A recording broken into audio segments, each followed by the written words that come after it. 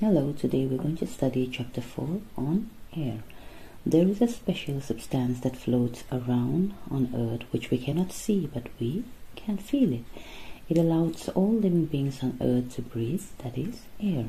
Or we may call it a huge blanket of air called atmosphere.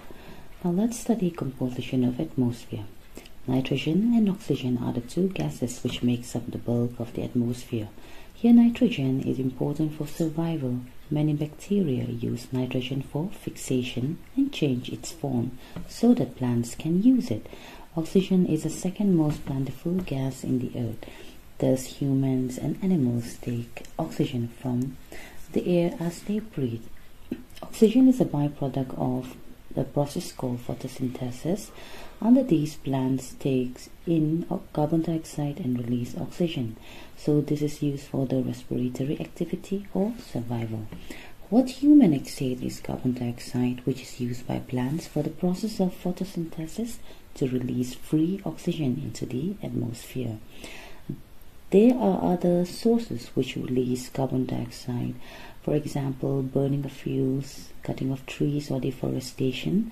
Now they add billions of tons of carbon dioxide into the atmosphere, which results in the increase in the volume of carbon dioxide that affects the Earth's weather and climate. All these processes leads to the increase in the greenhouse gases, so it increases the amount of heat trapped in the atmosphere, and these gases are known as greenhouse gases.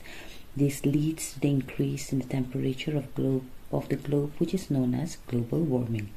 The impact of global warming could be seen as rise in sea level, which would lead to flooding and which would eventually lead to coastal submergence.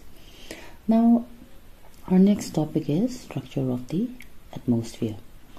Now, troposphere, this is the lowest region of the earth. This has the maximum amount of air all living things exist here. Here we have cloud formation, rainfall, fog, hail, etc. And as we go up, the air gets thinner. Here there is less oxygen. This layer is almost free from clouds. It is ideal for flying aeroplanes. This layer is called the stratosphere. This contains a layer of ozone gas. Ozone or O3 protects all beings on Earth from ultraviolet UV rays of the sun. Now next we have the mesosphere. It extends up to the height of 80 kilometers above the Earth's surface. Temperature can go as low as minus 90 degrees Celsius. Meteorites burn up in this layer entering from the space. Next we have thermosphere. Here there's a rapid increase in temperature and as we go further upward here the air is too thin that the temperature can go up to 1200 degrees Celsius. Our International Space Station are located in this layer that is here we have the ionosphere and this help in radio transmission.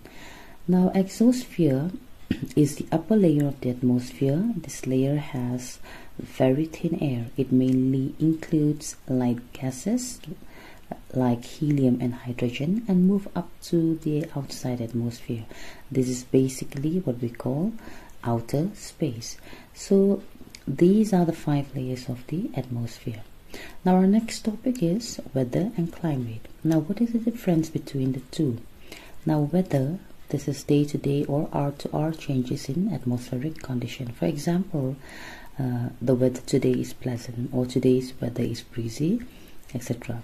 Now, climate, on the other hand, is a weather condition of a place uh, for a longer period of time that is more than 30 years uh, that is taken into condition. Now, for example, we may say that the climatic condition of a desert is arid or uh, places like Mawsynram in Meghalaya